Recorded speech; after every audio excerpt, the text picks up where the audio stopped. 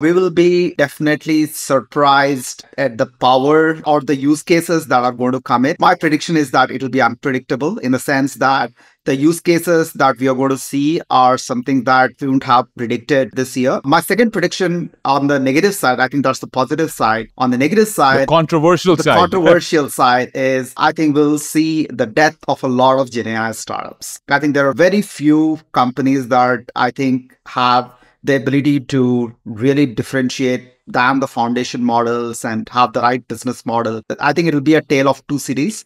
There will be significant winners and there will be a really long tail of losers.